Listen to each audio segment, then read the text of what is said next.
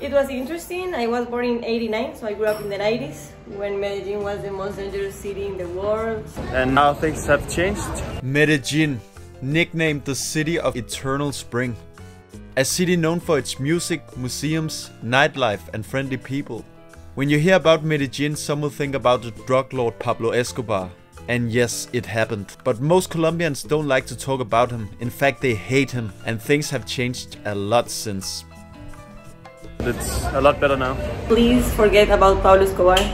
Today was time to check out Medellin solo. How much do you think I can get for $10 here?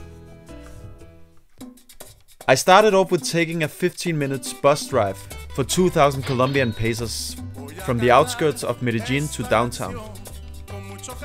As always, the street art is on point here in Colombia. My big disadvantage today is I don't have any local guys with me, so I might have to pay overprice for some of the things.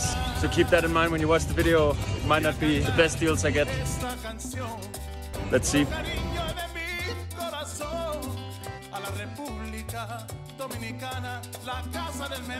Guama, yes. Believe me when I say you can't go to Medellin without trying a guama. But please don't eat the big seeds inside, they'll give you diarrhea, I was told. Interesting food. You only eat the white, you don't eat the black. While I was walking around Medellin to search for lunch, I saw lots of obvious Catholic people with a black cross marked on their foreheads because of a specific Wednesday called Miércoles de Ceniza. Should I get one? I don't know. Anyway, lunchtime. Arroz carnes and a mandarin juice and some Colombian company.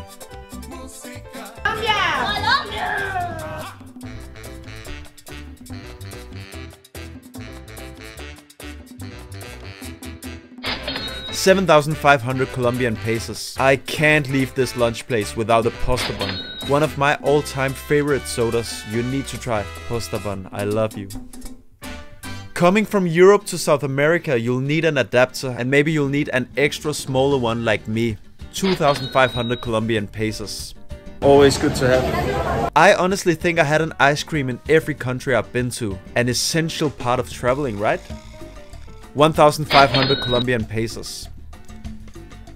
So nice. I would say don't trust what the bad news that you hear. You know, you have to come here and see it for yourself. It's actually a really great place to live. People are the friendliest you ever meet. The guy who sold me this told me the name was Mango-ish.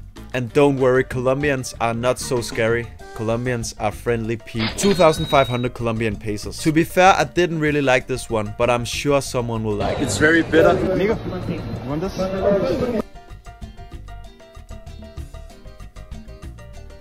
Naranja punch juice. Yes, one is not enough. I need two. 2000 Colombian pesos. I have bought so much and I haven't even spent $6 yet. That's incredible. Colombia is so cheap. So I agreed with myself I needed to splash out big time now with buying a Colombian ring. So fancy. 4000 Colombian pesos. I needed to try a manzana soda also to compare, but it doesn't beat Postobon for sure. It's good still. 1000 Colombian pesos.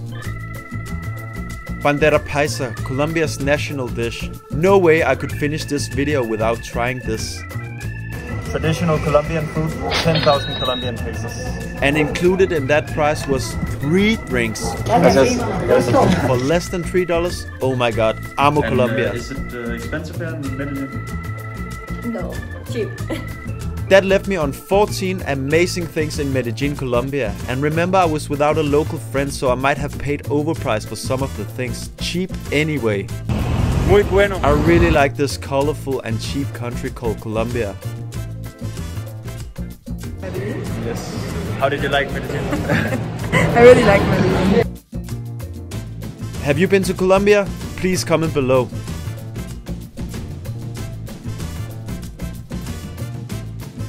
Colombian people are just really friendly. Remember to subscribe to Gus on the Go. 150 countries and more to come.